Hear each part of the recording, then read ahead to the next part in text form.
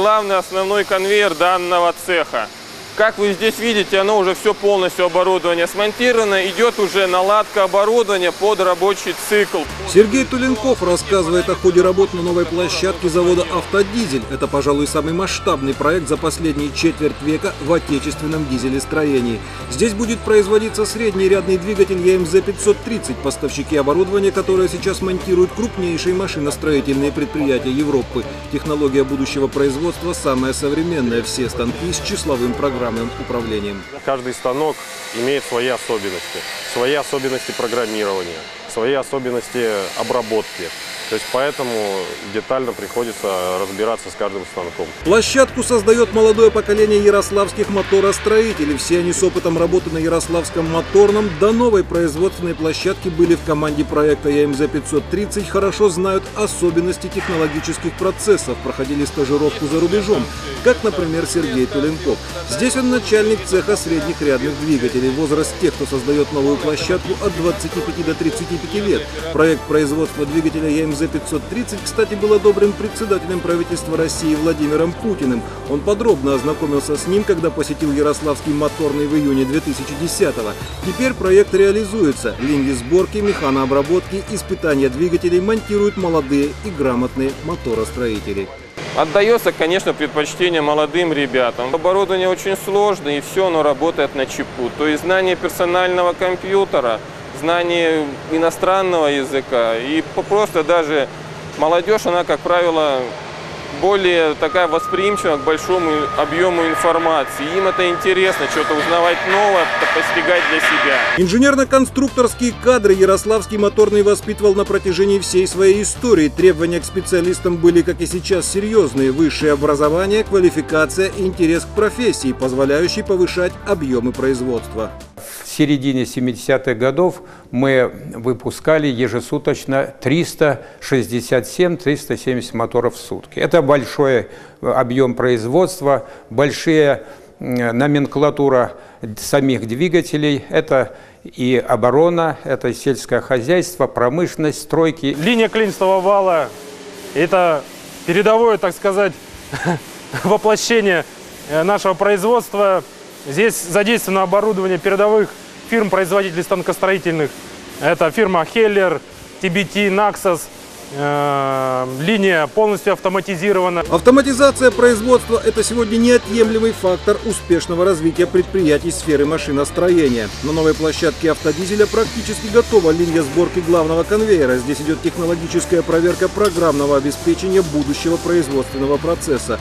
Оборудование, как и везде, с ЧПУ. Весь персонал, который будет обслуживать линию, прошел обучение на крупнейших отечественных и зарубежных предприятиях. Оборудование все ЧПУ, то есть наладчики, которые сюда пришли, они проходили обучение на рыбинской фирме «Сатурн».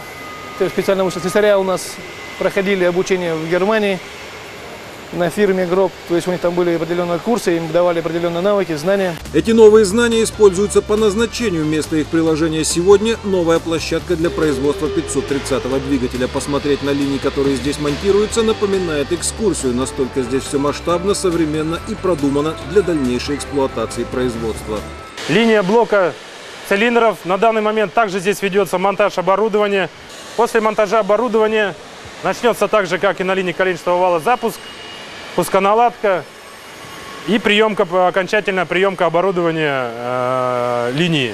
Кстати, на автодизеле ежегодно проходят научно-технические конференции молодых специалистов. В этом году конференция была проведена на тему «Модернизация и инновация дизелестроения. Вклад молодежи в будущее российской экономики». Она была посвящена 95-летию Ярославского моторного. Ее участники представили 18 исследовательских и конструкторских проектов, которые оценивались по различным секциям. При оценке проектов учитывалась их актуальность для потребностей производства, инновационность, степень владения темой, наличие экономического технического анализа, а также оформления с использованием компьютерных программ.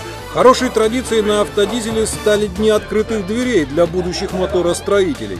Кстати, сами молодые специалисты оценивают свою работу на моторном как возможность повысить свою квалификацию, стать универсальными в деле, которое обеспечивает нынешнюю экономическую мощь предприятия. То, что дают базу в университете, то есть это все достаточно ну, ограничено. Вот. А здесь, по крайней мере, ну, основываясь на этих знаниях, то есть уже которые в университете получали, то есть это можно все реализовать. То есть вот эту теорию уже применить на практике.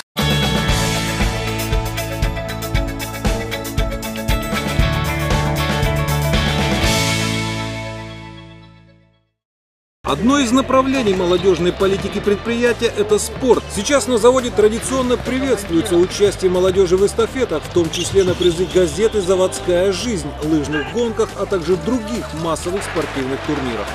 Фотографии из музейного фонда предприятия свидетельствуют, здоровому образу жизни здесь всегда уделялось большое внимание. Даже ветераны завода сейчас выглядят молодо, вспоминая о том, как они проводили выходные дни на разных спортивных соревнованиях. Первое воскресенье, там 3-4 июля, это значит участие принимали, ну, я не знаю, значит, в каждой группе у нас, при это, в каждой команде принимало по 27, по 28, тут и велосипед, тут и лодки, тут и плавание, все. И знаете, это так сплачивало коллективы, каждый коллектив готовился, и выходили кто победителем, а кто-то и побежденным. Молодежь завода была его активной частью всегда. Это также подтверждают ветераны. Секретарь комитета ВЛКСМ завода Георгий Потапов был делегатом 15-го съезда комсомола. Человек он был авторитетный и деятельный. Вспоминает, как молодые рабочие в своем кружке обсуждали проблемы предприятия. Он пришел к ним, послушал и понял. Молодежь готова бороться с недостатками, поскольку знает их и говорит об этом. Там такие споры пошли. И когда эти все споры прошли, я поучаствовал немножко. Вы знаете, я говорю, они думали, ну, сейчас секретарь комитета комсомола завода разнесет. Я говорю, вы знаете, вы правильно все говорили. Я когда уходил, говорит, ну, говорит, а мы думали, что теперь говорит, нам, нас закроют. Я говорю, да вы чего? Ребята, Основная цель молодежной политики на автодизеле – развитие и поддержка работающей молодежи, реализация ее профессионального и творческого потенциала в интересах предприятия. Открытие новой площадки ЯМЗ намечено на осень, тогда же будет отмечаться и 95-летний юбилей крупнейшего предприятия двигателестроения. Уже сегодня можно сказать, что в его достижения молодежь внесла и продолжает вносить свою лепту.